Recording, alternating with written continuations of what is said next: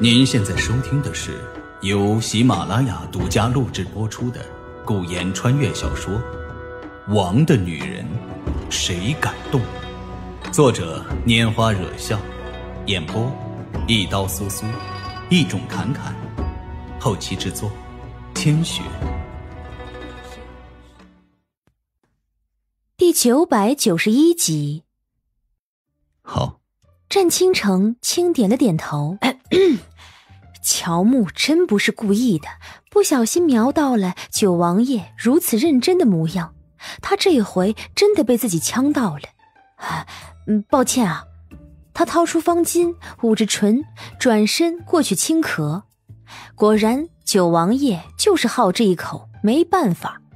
为了伺候好一个女子，战神王爷居然承诺要学着剥虾壳。凤九儿的命该有多好啊！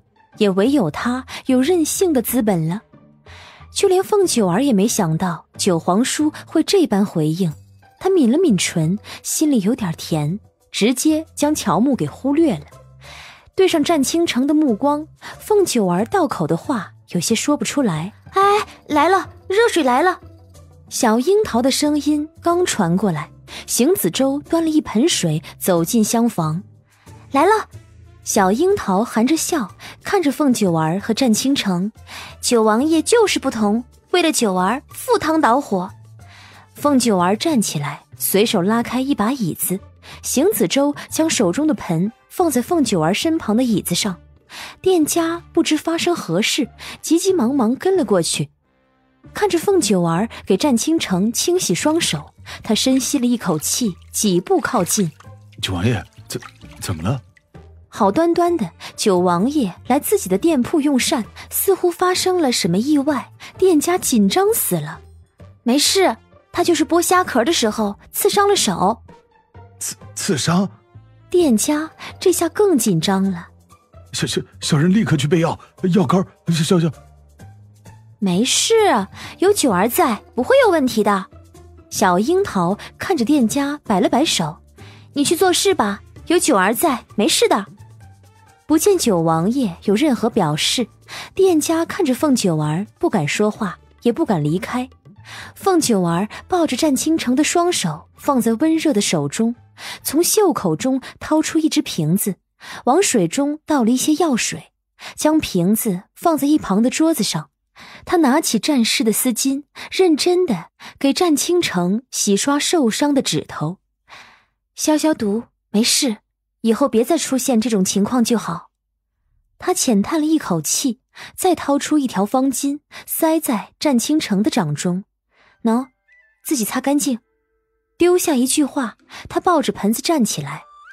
店家拿下去，一点小事无碍了。好好。店家急急忙忙过去接过盆子。有何需要，九儿小姐便吩咐一声，我我我我我守在外头。无妨，你下去做事吧。有事我们下去寻你。在店家身上收回视线的时候。他被一点红给吸引了目光，凤九儿定睛一看，才发现坐在自己左手边的木木居然也刺伤了手指。木木在自己受伤的指头上挤了挤，若无其事的用方巾在上面一擦。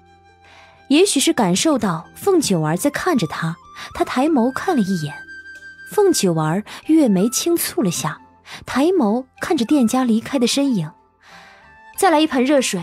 穆将军也受伤了，九王爷受伤，穆将军也受伤。店家转身的时候，身体十分僵硬。准备一盆热水来便好了，无需担忧。是。店家颔首，急急忙忙的离开了厢房。坐下的凤九儿在木木手中取过方巾，抓上了他那根被刺伤的手指。几根？一根。故意的。嗯，凤九儿停下手中的动作，一瞬不瞬的看着眼前的男子。他只是随口问问，没想到他说是。木木，你故意刺伤自己的手指？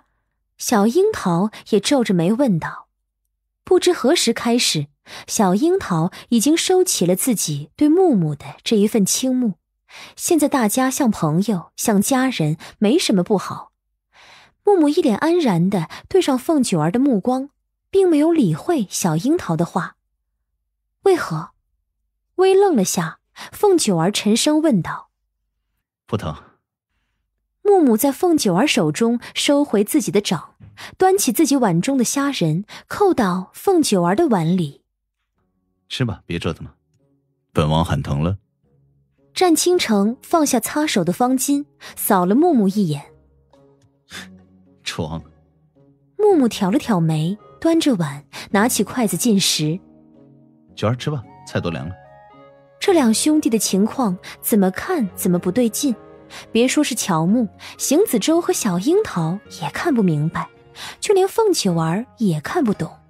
三人看着木木，又看看战倾城，视线最后落在凤九儿身上。木木说“装”的意思是指九王爷不疼装疼，来让九儿心疼吗？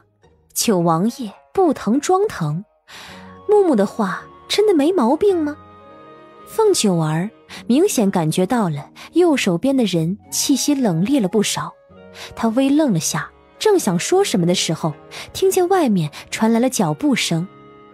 九儿小姐，水水水来了。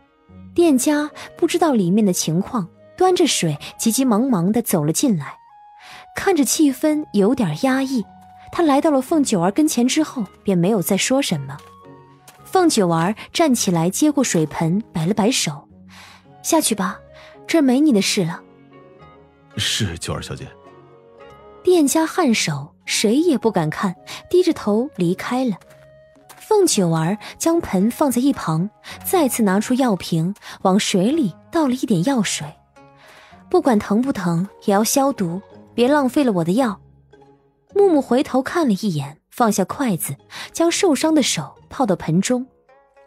赶紧吃饱回去洗洗吧，黑眼圈都出来了。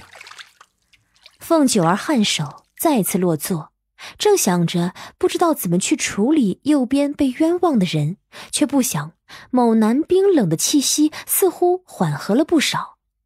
凤九儿侧头的时候，一碗不好的饭菜递到了他跟前，他对上战倾城的目光，轻蹙了蹙眉：“九皇叔，这是给我布的菜。”嗯。战倾城颔首。吃饱了再来伺候。凤九儿月眉轻挑了下，接过他给自己布的菜，还以为九皇叔这么心疼他，给他布菜，原来他是在在意，在意自己刚才伺候木木的事情。